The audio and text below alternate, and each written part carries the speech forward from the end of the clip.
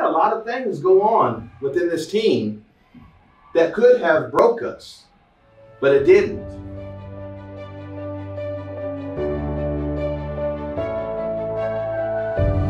You'll lay it on the line one time tonight,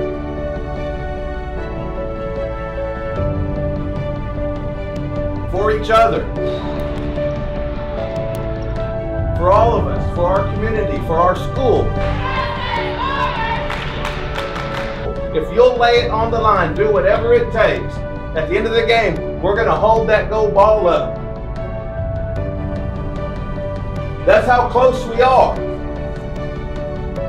That's all that matters to me.